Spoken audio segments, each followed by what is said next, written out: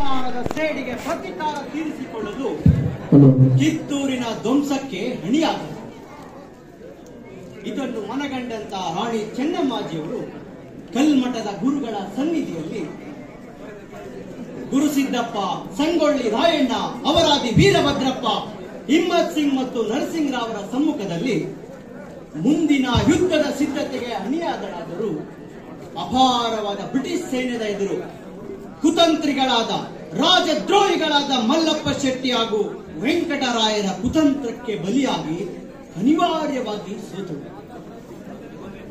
ಕ್ರಿಸ್ತ ಶಕ ಹದಿನೆಂಟು ನೂರ ಇಪ್ಪತ್ನಾಲ್ಕರಲ್ಲಿ ಕಿತ್ತೂರು ಬ್ರಿಟಿಷರ ಕೈವಶವಾಯಿತು. ನಾಡಾಭಿಮಾನಿಗಳಾದ ಸಂಗೊಳ್ಳಿ ರಾಯಣ್ಣ ಗುರುಸಿದ್ದಪ್ಪನವರು ಚೆನ್ನಮ್ಮಾಜಿಯೊಡನೆ ಸೆರೆಯಾಳಾದರು. ಅಖಂಡ ಐದು ವರ್ಷಗಳ ಕಾಲ ಸೆರೆಮನೆಯಲ್ಲಿದ್ದಂತ ರಾಣಿ ಚೆನ್ನಮ್ಮಾಜಿಯವರು ಕೊನೆಗೊಂದು ದಿನ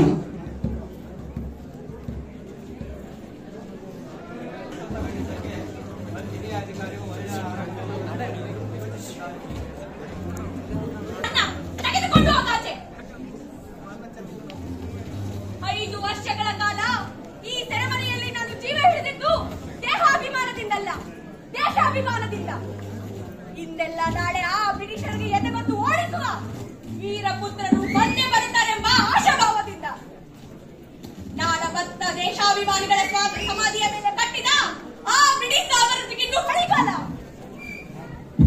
ಇದೇ ಕಿತ್ತೂರಿನಲ್ಲಿ ಮೊಳಗಿದ ಸ್ವಾತಂತ್ರ್ಯದ ಕಹಳೆ ದೇಶದಾದ್ಯಂತ ವ್ಯಾಪ್ತಿಯಾಗಲಿ.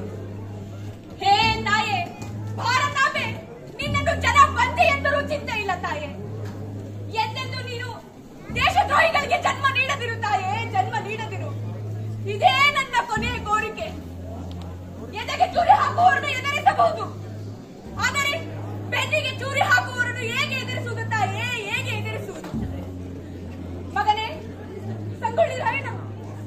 ಈ ಸ್ವಾತಂತ್ರ್ಯದ ಸೂರ್ಯೋದಯ ನಿಮ್ಮಂತವರಿಂದ ತಂದ ಈ ಸ್ವಾತಂತ್ರ್ಯದ